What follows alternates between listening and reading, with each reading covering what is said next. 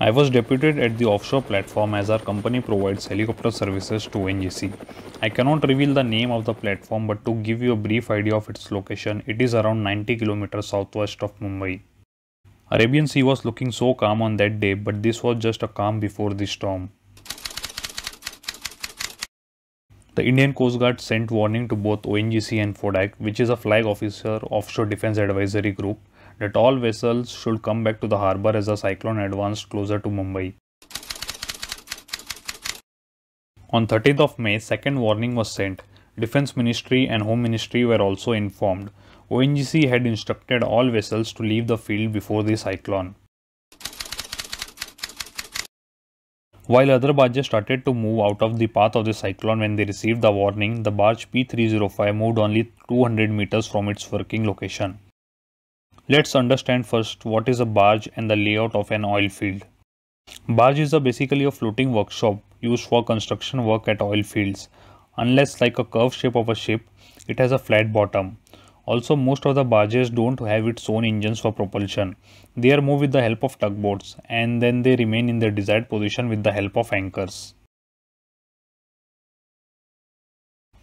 Unmanned platforms are the oil wells from which oil and gas is extracted from the seabed. There can be many wells in the particular oil field. All these wells are connected with underwater pipeline to main processing platform where it is processed and sent to the refinery at land. These are called the unmanned platform because there is no need for any person to stay on board and can be operated remotely. But the worker often go there for the routine maintenance and sometime for additional work barges are deployed. P305 barge was working on in this kind of unmanned platform when this incident happened. So now I think you got a basic idea of what is a barge and the oil field. cyclonic storm turns into a severe cyclonic storm and was moving further in north direction. Cyclone was near the coast of Goa and it was turned into a very severe cyclonic storm.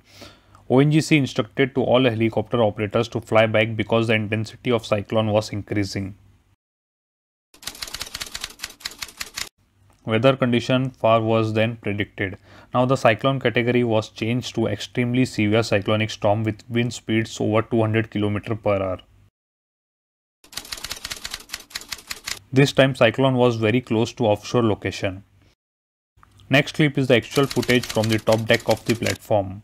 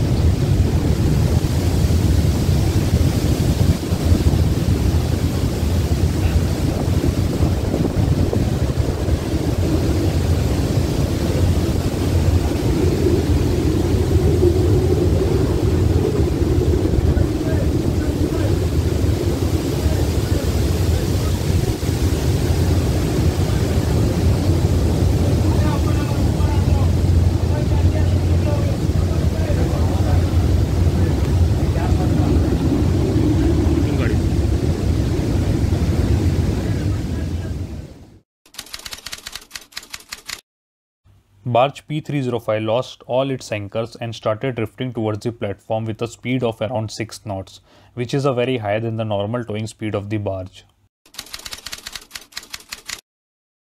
Barge P305 was drifting in very close proximity of the other unmanned platforms and the process platform. If barge had hit the process platform, there could have been more damage.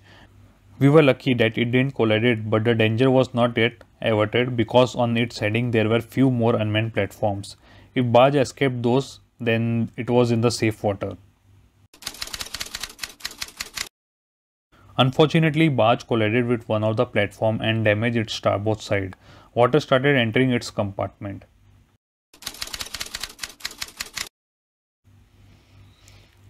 Barge continued to drifting towards north direction and started to sink. Barge master decided to abandon the barge Alert message was sent to Coast Guard and the Indian Navy and in no time the INS Kochi was prepared to sail.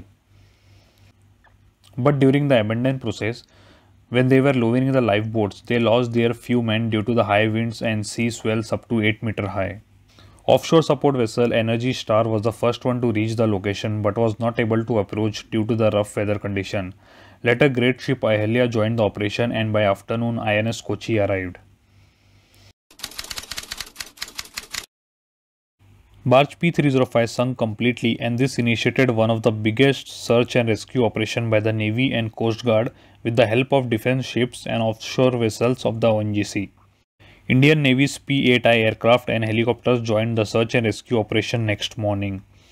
Of the 261 personnel, 184 have been saved and 51 people lost their lives and search for remaining still on. With several other vessels stranded at sea, the government has set up a high-level inquiry committee to ascertain the causes and lapses that led to loss of lives. The next video is a footage of barge P305 when it was drifting. We cannot even imagine what those people were going through at that moment.